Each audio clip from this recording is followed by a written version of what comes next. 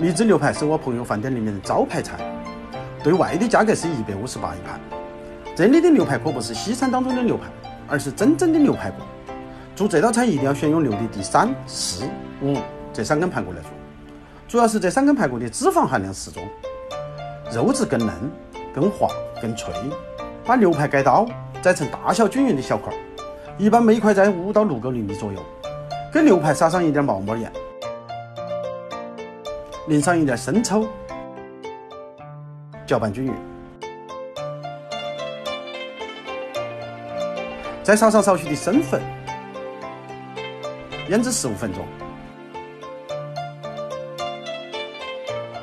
这道菜需要准备一些关键的辅料：红枣、枸杞、黄芪、党参、圆肉、牛大梨。把这些辅料放入砂锅中。现在开始处理牛排。起锅下油，把牛排浇肥的一面先放入锅中，煎出牛排多余的油脂，用牛排自身的牛油来煎牛排，可以使菜品的香味更为浓郁。这一步火可以适当小一点，慢慢煎，不要着急。先出油再煎香，感觉有点焦香焦香的了，就可以翻面了。要把两面都煎香，稍稍带一点焦脆的感觉，可以多翻几次面，一定要有慢火。急火煎不出来那种味道。把煎好的牛排放入备好料的砂锅中，盖上锅盖，焖两个小时。如此费时费力的菜，饭店里面都是提前做好半成品。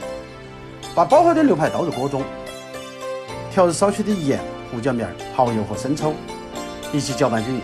大火收汁，收汁也是味道融合的一个过程。等到锅中汤汁粘稠时。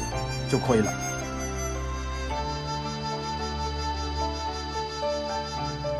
当然，卖得贵的菜呢，一般转盘是比较讲究的，不然对不起别人给的 money。蜜汁牛排由五十六岁的老厨师长亲自出手，喜欢的点赞，不喜欢的介绍。等到下次再看，下次可以看我做的菜，点关注不迷路。我是厨子，下期见。